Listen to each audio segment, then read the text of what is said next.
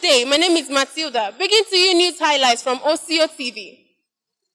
The Joint Admission and Matriculation Board, JAMB, has directed all tertiary institutions in Nigeria to begin the conduct of the first and second choice admission process on August 21st.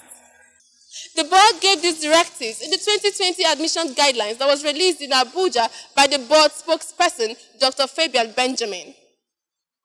The African foremost indigenous car inventor, Dr. Ezekiel Izuogu, dies on the 18th of July. As the people of Nigeria mourns the death of the popular scientist and inventor, Dr. Ezekiel Izuogu of the Akokwa clan in the Ideato local government area of Imo State, who died on the 18th of July after a brief illness. Dr. Ezekiel Izuogu was the inventor of the first African indigenous car that was called Z600 in 1997. The mainstream of the Igbo pressure group, IPOB and MASSOB, has expressed their sadness over his demise. The Media and Publicity Secretary of IPOB, Mr. Emmanuel Powerful, described his death as a great loss to the people of Biafra. He also noted that his technological prowess was never utilized just because he was a Biafran.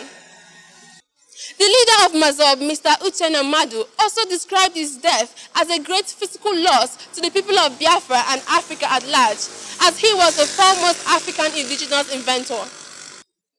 The president has expressed his deepest condolences to the family, friends, people and government of Imo State on the demise of the trailblazing inventor that invented the first made-in-Nigerian car and a member of the All Progressive Congress Board of Trustees.